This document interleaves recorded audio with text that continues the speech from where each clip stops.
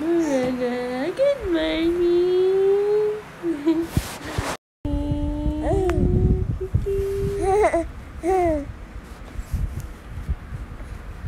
But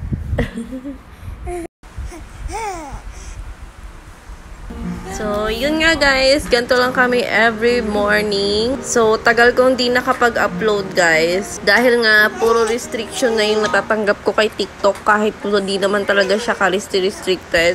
Binubura niya guys yung aking video. Kaya ilang days din akong nakapagpahinga. Ayan, sa pag-upload. Hindi ko alam kung anong reason. Pero sana TikTok umayos ka na. Batid na tayo. Tapos pumunta na nga din ako ng CR neto guys. Nagtututbrush na ako. Ayan yung aking ano. Pagkatapos gisingin yung baby ko. Ayan ako naman. Tapos gising na rin kasi yung daddy niya niyan. So siya muna yung humawak kay baby Sayon. And for the toothbrush muna yung person. Tsaka hilamos ng face.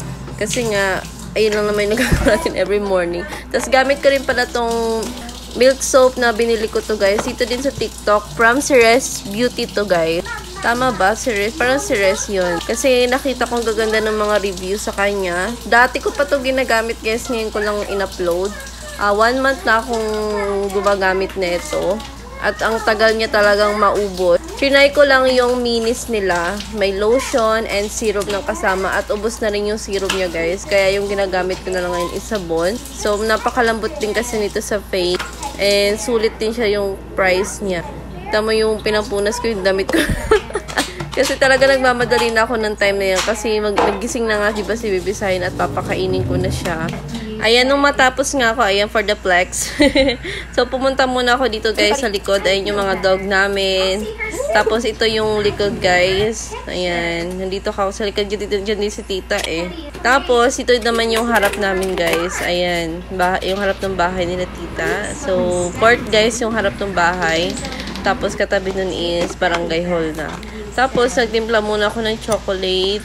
Ayan. Masarap din to guys, sausawa ng pandesal. So, pinagmi-mix ko lang. Ewan ko kung kayo din.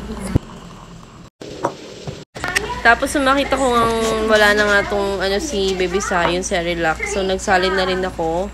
Dahil ang dami din niyang stock. Ayan.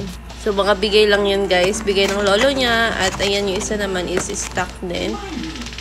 So, ngayon guys, is puro Cerelac si Baby Sai. Uh, gusto din naman namin siya is solid food. Pero, uh, paunti-unti lang. Pero more on Cerelac din talaga siya kasi ayaw niya minsan kumain ng solid food. Niluluwa niya lang. Kaya, ayan, nag i kami ng iba't ibang flavor ng Cerelac. Yun lang. Thank you!